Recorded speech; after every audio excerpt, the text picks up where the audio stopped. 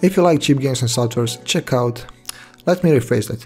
If you like breeding, check out GVG Mall, link is in the description.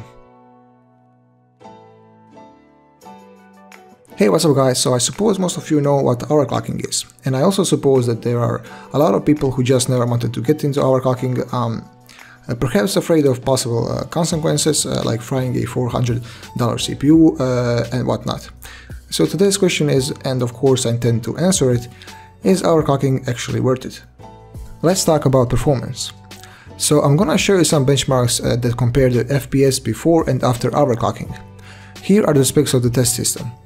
Uh, by the way, uh, all the CPUs are benchmarked in GTA 5 at 1080p and max graphics settings.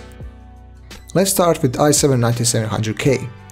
As you can see, uh, it achieved an increase of about 10 FPS when overclocked to 5 GHz.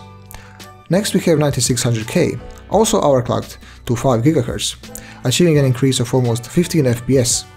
I also prepared some benchmarks of AMD CPUs. First we have uh, Ryzen 7 2600X.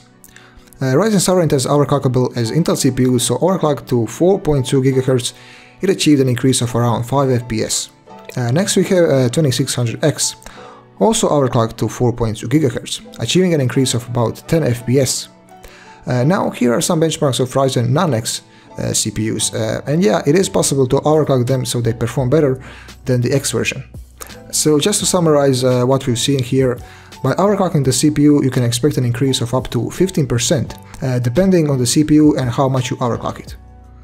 Now that we talked about um, the positive side of overclocking, uh, which is of course increase in performance, it's time to talk about the negative sides. First one is price. While all Ryzen CPUs are overclockable, Intel CPUs that can be overclocked actually cost more and come with no cooler. And that's not it. You also need a motherboard that supports overclocking, which are surprisingly more expensive.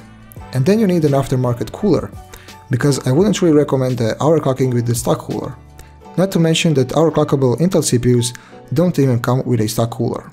Then there is higher temperature. Of course, higher the frequency, uh, higher the power consumption. Therefore, more heat, especially if you increase the voltage. Also, it reduces the CPU's lifespan, in order to minimize this problem, uh, make sure your CPU is stable and your voltage is as low as possible. So what's my conclusion? Is our overclocking actually worth it? Well, it depends, but mostly not.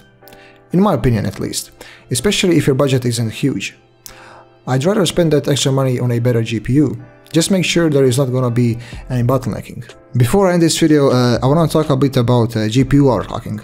So since GPU overclocking uh, doesn't require spending any more of your money, it's usually worth it, as long as you are okay with higher temperatures and reducing its lifespan.